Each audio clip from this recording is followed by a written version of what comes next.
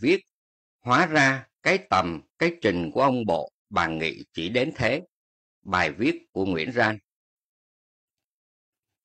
Tôi khẳng định rằng ông Bộ trưởng Bộ Văn hóa nước mình là ông Nguyễn Văn Hùng là người có trình văn hóa thấp. Bởi người có văn hóa luôn tự trả lời cho mình một cách rành rọt ba câu hỏi, được xem như những mệnh đề để con người ta trước khi nói, hành động và hành xử sao cho đúng, cho phù hợp với thực cảnh lúc đó. Ba câu hỏi đó là Mình là ai? Mình đang ở đâu? Mình phải làm gì? Theo những mệnh đề đó, thì trong lần ông Hùng thay mặt Thủ tướng đi đón ngài Thủ tướng của quý quốc Mã Lai tại sân bay nội bài. Hình ảnh, cảnh quay được báo chí chính thống ghi lại và đưa lên các kênh thông tin thì thấy rõ ông Hùng là một người có trình văn hóa thấp, nếu như không muốn nói là rất vô duyên, vô văn hóa. Hình ảnh đó đã nói lên tất cả và không cần phải nói gì hơn, vì ai cũng có vốn văn hóa tối thiểu để hiểu, trả lời và làm cho đúng ba câu hỏi đó, trừ ông Bộ trưởng Văn hóa Nguyễn Văn Hùng.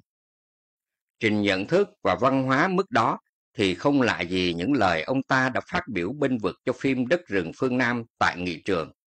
Buồn cười nhất là người này còn có ý đe dọa xử lý những ai đã phản đối bôi xấu bộ phim này. Quả là không biết mình là ai. Ngài Bộ trưởng có giỏi, có đủ quyền hành để mà xử lý những tiếng nói, ý kiến phản biện, phê phán của công chúng, đồng thời là cử tri đã bầu ông vào quốc hội để gửi gắm tiếng nói nguyện vọng của họ hay không? Sao ông có cái tư duy võ biền, trẻ trâu đến thế nhỉ?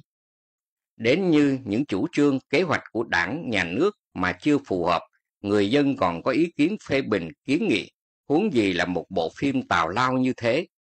Đó mới là bản chất ưu việt của chế độ ta, mà đảng, nhà nước vẫn khuyến khích bảo vệ những tiếng nói như thế. Chẳng nhẽ ông văn hóa đến mức lú lẫn vậy sao?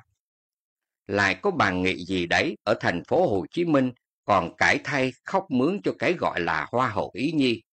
Bà rảnh việc quá ha, vì sao người ta chê bai, thậm chí mắng giết cô bé đó mà không phải là hoa hậu khác hay ai đó.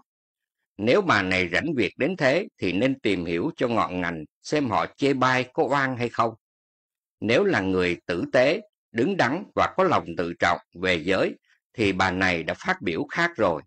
Sao bà không đề cập đến chuyện họ lợi dụng hai từ hoa hậu để một năm có đến mấy chục cuộc thi hoa hậu như thế để phục vụ cho việc gì? Việc đó để tôn vinh vẻ đẹp của người phụ nữ Việt Nam chân chính hay đang xúc phạm họ. Cũng như ông Bộ, bà nghị này cũng trẻ trâu đến thảm hại khi đe dọa sẽ xử lý những ai bôi xấu bộ phim Tào Lao kia. Ai bôi xấu, bôi xấu chỗ nào? Khi công chúng phản đối một bộ phim hư cấu nhưng có yếu tố lịch sử sai trái như thế. Ôi, buồn thay cho ông bộ bà nghị, mà cái trình, cái tầm đến mức buồn cười và thảm hại như thế này sao?